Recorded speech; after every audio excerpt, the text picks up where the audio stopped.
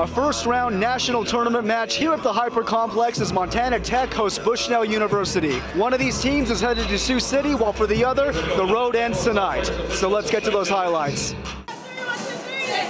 First set and the senior outside hitter Karina Mickelson making her presence felt. She floors the kill and gives Tech the lead. Midway through set one, Tech up by two, and the junior McKenna Colber stonewalls the Beacon's attack. That puts the Orediggers up 15-12. But later, Bushnell keeping the pressure up. Peyton Jones fires off from the left side and Tech can't dig it up. We're tied at 24 and heading to extra points. Set point beacons, but Tech still fighting. Colbert tees up Sydney Parks and she delivers the swing. It's 26-26. Bushnell again with set point and a misfire from Tech. Beacons take set one.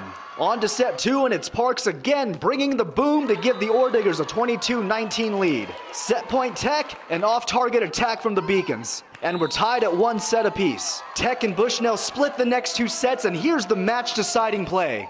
An ace from Olivia Muir.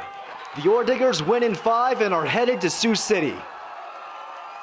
In Butte, Luke Shelton, MTN Sports.